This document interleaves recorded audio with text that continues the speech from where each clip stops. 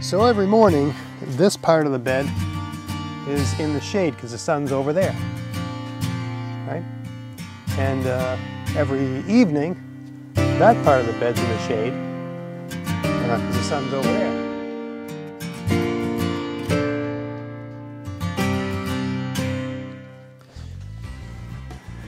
Hey, it's Greg here with MaritimeGardening.com and it's around, uh, you know, the uh, later part of July and this is the time of year that I start planting fall crops, certain kinds. And I recently had a viewer ask me, you know, when do you plant fall crops? What should you plant? what fall crops do you plant? Um, so that's a good question. And like a lot of questions, uh, it depends. it re really depends. The most important thing would be when, when is your fall? I mean, we, we all have a date, the fall equinox, right? Um, but what's most important is, I mean, the fall, the, the, the time from how long you have before the fall equinox matters because that's going to tell you how long you have before you start losing hours of sunlight per day and when it starts to cool off. It's also important to bear in mind where you are um, when you start getting frost uh, overnight because uh, even though there's plants that are cold hardy and can handle some frost, um, the, their rate of growth might slow down when you start getting frost. So you want to plant something that it's it's reached most of its achieved most of its size before the frost hits you. Number one, you, you want to plant a cold hardy thing because it's just going to get cold. You know, like it's going to continue to be warm for about a month, but then it's starting to get it's going to start to get colder and colder and colder. Um, so you want a plant that's going to be cold tolerant. Um, but you also need a plant that's going to, you know, sort of reach a certain size before it starts getting cold. When the soil cools down and the nighttime air cools down and the sunlight length of length of day starts decreasing, um, you know, the rate of growth really starts to uh, slow down. So, roundabout way of answering the question. Um, but for me, I know that I've got, let's say, 30 good days of heat left, maybe a bit more. I've got another 30 days of reasonable sun, reasonably warm, but not too bad. And then it's sort of very marginal after that without putting a lot of effort into things, getting, you know, cold frames and stuff set up and so on and so forth. But the days are just getting shorter and shorter and shorter. So, you know, I got about 60 days. So for me, I would plan something that would have days to maturity, 30 days, 40 days, 50 days max, right? And something that's cold tolerant and uh, it's an ideal time to plant things that are prone to bolting. So, I mean, we plant things like spinach in uh, September, or uh, sorry, we plant spinach in April or even late March sometimes if I can get them on the soil under a, a you know, sort of dome, uh, you know, some sort of artificial microclimate.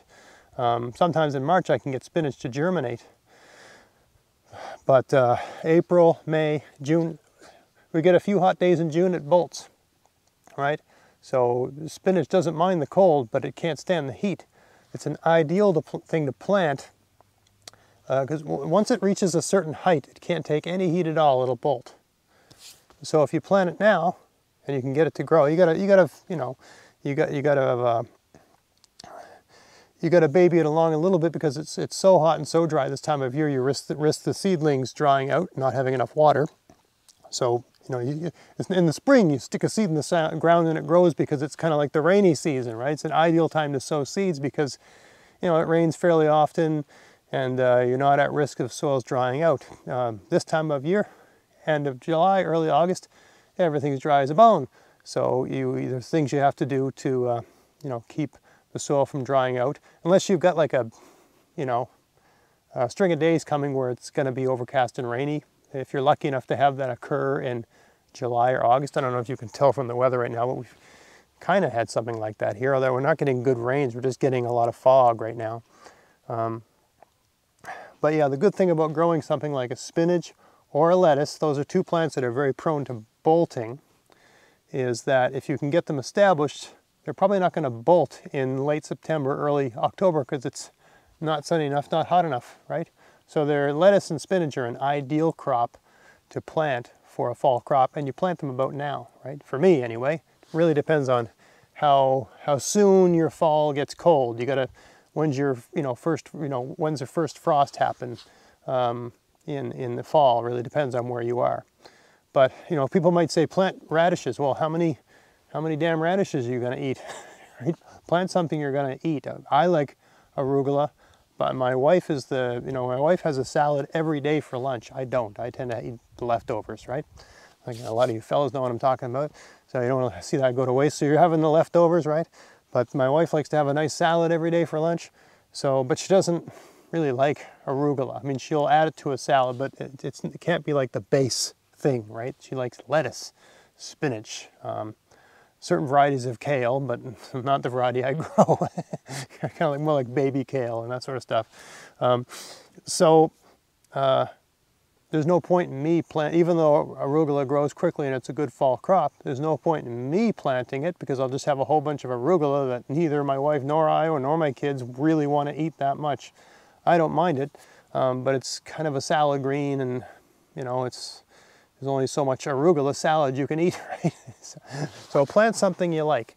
Uh, for me, we, you know, we like lettuce, we like spinach. There's you know, there's other greens that are quick growing like that too, but you know, it, it really comes down to there's um, what's that called? That's Tokyo silky sweet. Uh, different kinds of. Um, there are some plants in the crucifer or the brassica family and that, that sort of cabbage turnip family that grow really fast that have nice greens.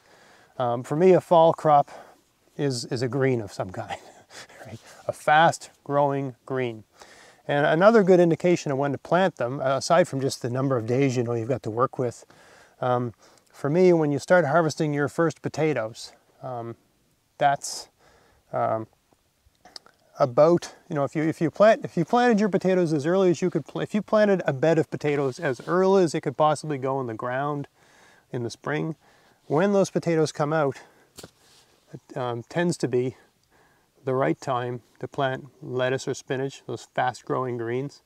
Um, and the great thing is you've pulled all the potatoes out of the bed. So you've got an empty bed just waiting, just begging to have something planted in it, right? And uh, potatoes aren't the heaviest feeders in the world, so it's, it's a good thing to follow it with. So that's another good trick. Pull your potatoes out and just, you know, if you've got any leftover lettuce seeds. There was one year I bought one of these giant packs of lettuce and so I would pull the potatoes out and I'd just throw the lettuce seeds on, on the soil and just sort of muss it up a little bit with my hands and water it and just leave it. Maybe put a little bit of, you know, I'd put a little bit of grass on top just to keep the soil from drying out. And the lettuce would just come up through the grass like a weed. Uh, maybe I'll try that this year. If I'm gonna, you know, all these things, if you're gonna do it, you gotta do it, you know, if I'm going to plant a fall crop, it's about time to do it now. I have planted, I'll show you a little thing I got over here. I have planted some uh, lettuce and spinach in an odd sort of place that makes perfect sense if you follow my logic. Um, but uh, yeah, let me just show you. That. It makes the most sense to just show you. Let's have a look here.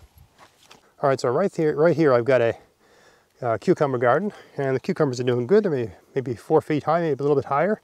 Uh, they need to be, um, you know, you constantly have to amend them a little bit and, you know, help them climb the trellis. Uh, but these will be like eight feet high by the time they stop. So every morning, this part of the bed is in the shade because the sun's over there, right? And uh, every evening, that part of the bed's in the shade because uh, the sun's over there.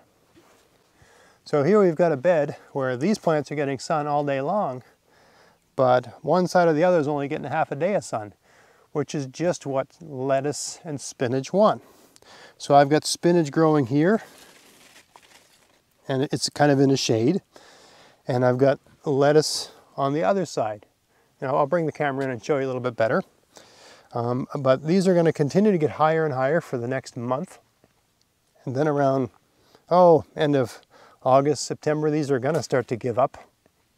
And I'll just cut them down to let the sun through.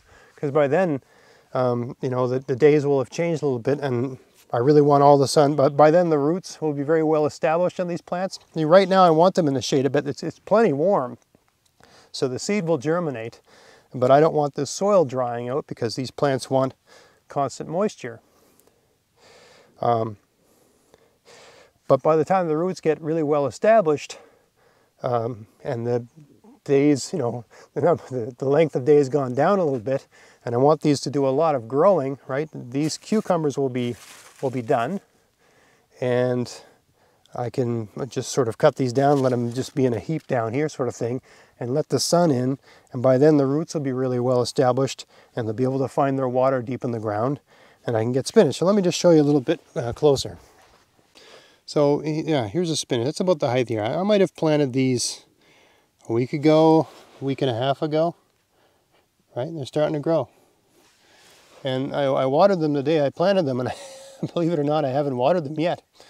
And uh, yes, we did get a good rain a number of days ago, um, but a good part of the reason why the soil has retained its moisture is because it's it's in the shade of these, right? It's not getting all the sun all day long. It's getting some of the sun some of the day. Here we are on the other side, and I've got these little teeny tiny uh, lettuce growing here, right? Uh, early beginnings, but they'll continue to grow. And uh, I'll have some lettuce, lettuce later on. So you can see them all right there. And you know, all these these uh, stems that are starting trying to reach into where I've got these, I got I got to you know work them up into the lattice work. It's just something I every couple days I come out here and just anything that's not where it's supposed to be, I, I fish it up through the through the mesh there. Right, I want the plant being vertical, and the plant wants to be horizontal, but it'll grow just fine. Um, but yeah, that's the trick. And I guess it also bears mentioning like there's more than one kind of fall crop, right? So I've got, um, you know, this kale that actually this, this kale came up, came up wild. It came up in a clump over there and I, I pulled them out and repositioned them and, and they're doing pretty good kale. I didn't even plant these, they just happened. I just moved them so that they'd have the right amount of space, right? so that's wonderful when that happens. Um, but I consider these a fall crop, even though they, they started growing in April. Um, you just keep taking, every time I want kale, I take a couple leaves off each plant until I got enough for a, you know, a nice side dish with a meal. And uh, these will just keep producing and producing and producing and producing. And I'm harvesting my, usually around sometime in December, I take everything I've got left. And, uh, you know, I'm constantly harvesting this. I'm constantly freezing it and putting it down, right? I'm just always getting kale all season long. So it's, it's, a, it's a spring crop, it's a summer crop, it's a fall crop. It's just a wonderful thing to, to grow and it freezes really well. You just blanch it and freeze it. It's just great stuff.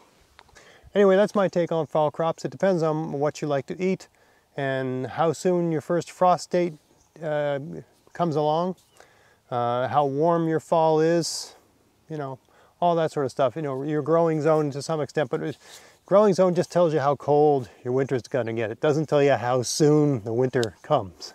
So it really depends on where you are and you know, if you're aware from season to season really how much time you got to work with, um, figure out that many days and whatever you want to grow, if it's got that many days to maturity, it's going to work. I would focus on greens. I would focus on cold hardy greens that can take a frost because you know, whatever you're growing is probably going to be growing into that frost zone. So it's good if they can withstand a little bit of that. You don't have to worry about it. I hope you found that interesting. If you did, please like, share, subscribe. Check out my podcast, maritimegardening.com, and until next time, get out there, get at it, have fun in your garden. Thanks for watching.